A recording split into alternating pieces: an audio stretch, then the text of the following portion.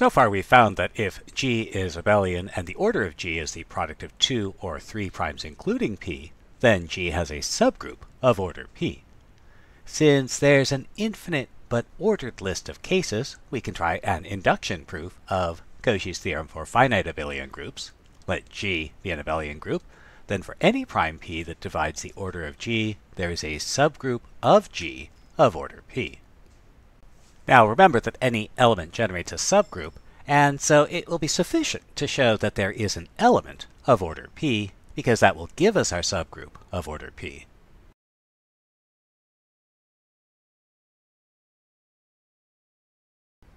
We've proven the result if the order of G is a product of 2 or 3 primes, so let's use our standard induction step. Let's assume the result holds if the order of G is a product of k primes. So let G be a group whose order is the product of k plus 1 primes, including P. So remember, any element generates a subgroup. And so if A in G does not generate a subgroup H of order P, then the order of G mod H is a product of k primes. Or is it? Well, let's think about this. Suppose the order of G is the product of 4 primes, P, Q, R, S, an element A could produce a subgroup H with order QR and quotient group G mod H with order PS. However, our induction assumption only tells us what happens if the order is a product of 3 primes. It doesn't tell us what happens in these two cases. This means we need to use strong induction. So let's assume the result holds if the order of G is a product of k or fewer primes. So let the order of G be a product of k plus 1 primes, and let A in G generate a subgroup H. So both the order of H and the order of G mod H will be a product of k or fewer primes.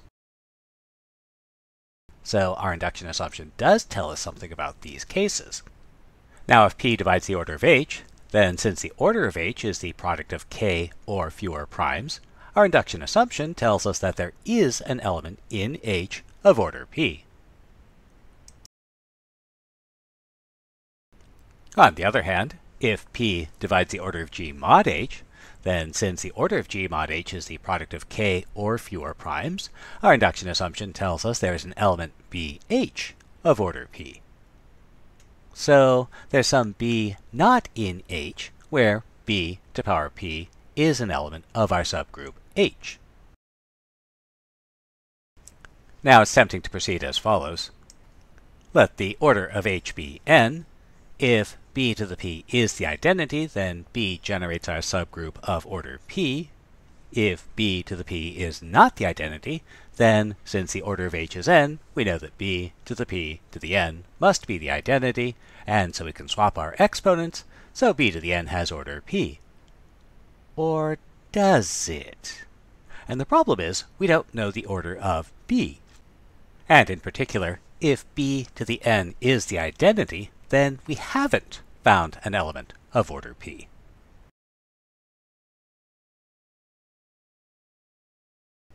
Well, let's find out. Suppose b to the p is an element of h, and the order of b is q, so b to the q is the identity. Then we know that b to power px plus qy is also an element of h for any integers x and y. Now by Bezout's theorem, there are integers x and y where px plus qy is the greatest common divisor of p and q. But since p is prime, the greatest common divisor is either 1 or p. But if it's 1, then b to the 1 is b, which is an element of h, but we assume that wasn't the case. And so this means the greatest common divisor of p and q is p, which means that p divides q. So b to the pr is the identity. So b to the r to the p is the identity. And so that means the order of b is a multiple of p. So for some r, b to the r has order p. So, for example, let's prove that the multiplicative group of integers mod 79 is cyclic. So we note that 79 is prime, so the number of elements in this multiplicative group is phi of 79. That's 79 minus 1, 78, or 2 times 3 times 13. Now by Cauchy's theorem, there is an element A of order 2, an element B of order 3, and an element C of order 13. And since 2, 3, and 13 are relatively prime, then the product A, B, C has order 2 times 3 times 13, 78, which is the size of our group, and so the multiplicative group of integers mod 79 is generated by this element A, B, C.